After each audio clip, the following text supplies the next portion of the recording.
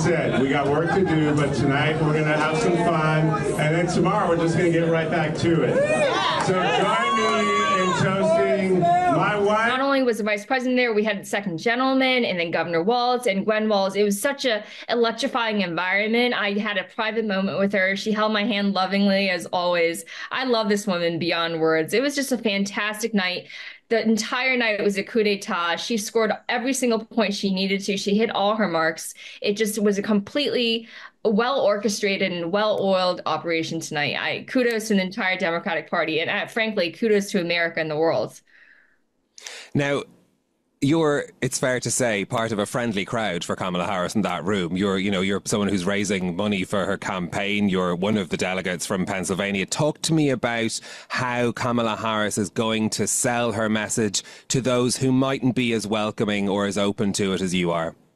I think what she did tonight was a clear overture to, for example, moderate Republicans, independents. She had Adam Kinzinger, who co-chaired the January 6th committee, speaking tonight. Not only did he speak tonight, he was towards the end, which is one of the most prominent slots anyone could ever get. And so she's clearly reaching out to all of America, not just blue America, but to red America, to purple America, to show them she is ready to lead, uh, regardless of party affiliation. And, and there are a number of things that she's already doing. For example, she backed away from her fracking ban. Um, she's going to um, strengthen her position on border to stress that yes, we welcome immigration, but at the same time, we should not have porous borders. So she's doing a number of things that tells me that she's clearly listening and doing everything she can to bridge the uh, uh, political and partisan divide. When when you're you know campaigning, what concerns do you hear about Kamala Harris that perhaps she may have addressed tonight, or or what issues are you looking to hear more from her on? Hey, you're going to think I'm some sort of propaganda minister. I want to say, first of all, I'm not on her payroll, but I will say one thing. Everywhere I go, the energy and enthusiasm for her have been incredible. Even just people on the street or people in my building that I casually talk with, you know, people who are diehard Republicans saying, huh, I am willing to give Coach Walz, I'm willing to give Kamala Harris a second chance. And, um, you know, a lot of times the right wing propaganda engineered a version of Kamala Harris that was that is completely detached from reality. And she is once again reintroducing her to America uh, to, as a seasoned prosecutor, as someone who's the law and order candidate, someone who reveres the rule of law, as opposed to the convicted felon who was charged 88 times um, with crimes in four different jurisdictions. How does Kamala Harris keep up the momentum that started in Chicago? There's both a long way and not that much time to go until voting day. There's a couple of big hurdles to overcome, including the debates with Donald Trump in my own hometown, Philadelphia. I plan to be there. So I'm excited for that. Um, I will say that the shortened campaign schedule might be a blessing in disguise because, frankly, she doesn't need to sustain the momentum for that long. I personally think she will, but she doesn't need to. It's only just 70 some days. And she's going to make every single day, day count. She's going to emphasize a blue wall, Wisconsin, Michigan, my own state, Pennsylvania. She's going to be there every day. In fact, they're just going to park themselves in these states and President Biden. Don't forget that President Biden is a formidable weapon in a state like Pennsylvania, whom he, he considers Pennsylvania to be his home state. So he's going to be there aggressively making the case, especially with demographics that um, really love him, like um, senior citizens and um, older Americans. So I'm really excited for the next seven days. I know that she will be forcefully and tirelessly litigating the case against Donald Trump.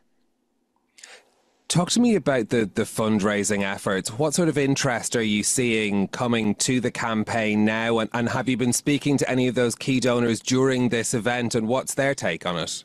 Well, first of all, I am a key donor. and my friends are also key donors. And I think interest is the mildest way we can describe what is going on right now because what is happening is not interest. What's percolating from the American people is just undeniable passion they are so excited about her candidate. They know they have renewed faith that she can effectively prosecute the case against her opponent. They're relieved um, to have a different candidate. America breathed a huge sigh of relief on July 21st. I want to say that I love President Biden. He's a fundamentally good man. I have undying respect for him, but he did the right thing by stepping aside. And when he did that, America was given a new lease on life, so to speak. So, you know, the excitement is going to carry for the next 70 days. I'm I would bet on that. And it also must because we simply cannot afford another 4 years of Donald Trump because it's not going to be another 4 years. The damage that he would cause would endure for years, decades, and perhaps even centuries. Lindy, we did see protests in Chicago over the Democratic Party's position on the war in Gaza. Were you satisfied by what you heard from Kamala Harris? Do you think that what she said will help to allay some of the concerns that supporters have? I do. And I think it's not only what she said tonight, but what she's been doing. She's been inviting these protesters to meet with her at rallies, to engage with her. They're going to sit down with her campaign staffers and her uh, official staff. She has two teams, and to just hear their concerns. And it's not just going to be about lip service. She is committed to ending the atrocities in Gaza. She is calling them atrocities. That in itself is a momentous thing because President Biden was very careful not to use such language, and she did. So that is there is daylight between her and President Biden on the issue of Gaza. Lindy, before we let you go, we've watched this event over the past few days. Can you describe what it was like being in that conference hall tonight? Well, I just want to say for most of the week, I was on the floor in the very front row of history because Pennsylvania, I'm obviously biased, is the tipping point state. We were placed in the very front to sit there in front of the stage watching people like Barack Obama and Oprah and President Biden. Wow, I am I am an immigrant. I, I found myself like welling up in tears. Um, it is it was such a blessing to be there.